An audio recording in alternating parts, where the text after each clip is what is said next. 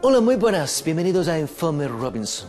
Bueno, el programa de hoy es realmente emocionativo. Vamos a revivir el maravillante camino de Real Madrid a la final de Champions. Disfrútalo.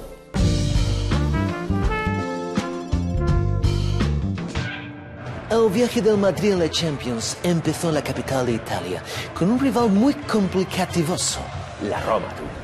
Locura moderada, ¿eh? Un equipazo lleno de cracks. Spaghettoni, Pizziño, eh, Parmesaniño y Gladiator. Esta gente eran los reyes de Europa hace 1700 años, el famoso Imperio Romano. Y el Madrid los machacó sin inmutarse, como hago yo con los entrenadores.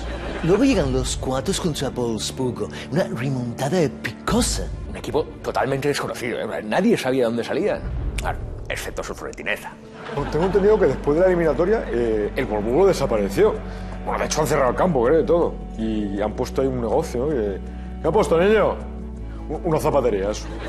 Tothom sap que el Wolfsburg se'l va inventar el Florentino. Ah, sí?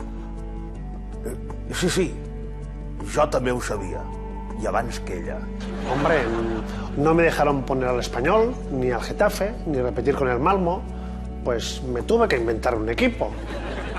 Algunos decían que el Wolfsburgo era el rival más débil. No habían visto jugar al City. Al principio pensé en suplantar a Turella, pero no lo hice por razones obvias. No nos parecemos en nada. Tendría que engordar 100 kilos. Por suerte, tenía un plan B.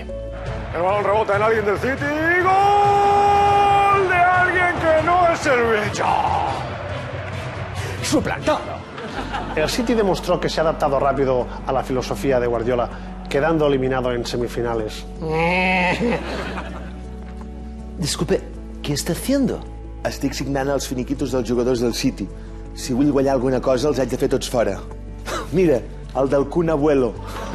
Y ahora la final contra el Atlético. Això diuen. Jo encara confio que hi haurà un sorteig i ens tocarà l'Almeria. Alguna cosa haurem de fer. No haurem de jugar contra un equip de debò, no? Y hasta aquí el camino de Real Madrid a la final de Milán. La semana que viene analizaremos el efecto Mathieu, un central discutidísimo, pero que fue lesionarse y su equipo empezó a perderlo todo. Tranquils, Mathieu ha tornat. Por lo menos arribo a la final de la Champions. ¿Y cómo? ¿A que no la jugamos?